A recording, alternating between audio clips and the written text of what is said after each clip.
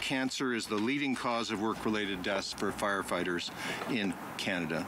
In a bold move to combat cancer among firefighters, the federal government has pledged over $12 million and launched a groundbreaking cancer registry to eradicate the disease from the profession, safeguarding those who put their lives on the lines to protect others across Manitoba and all of Canada.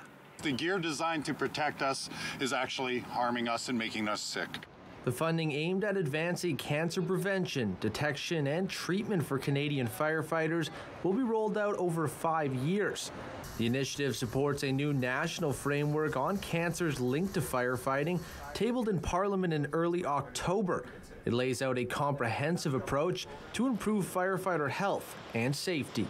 It is supposed to be a driver to to um, give a blanket standard for WCB nationwide. So, so I, the hope is that all cancers will be treated the same coast to coast to coast across Canada eventually. Central to this initiative is the creation of a national firefighter cancer registry led by Statistics Canada.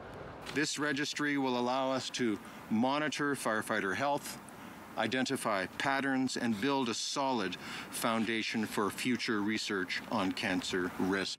And this initiative will only add to the current industry leading technology being used right here in Winnipeg.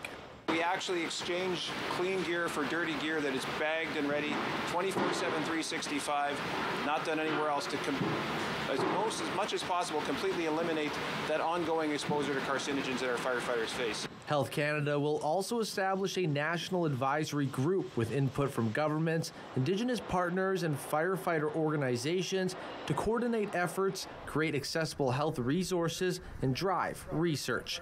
In Winnipeg, Mitchell Ringos, City News.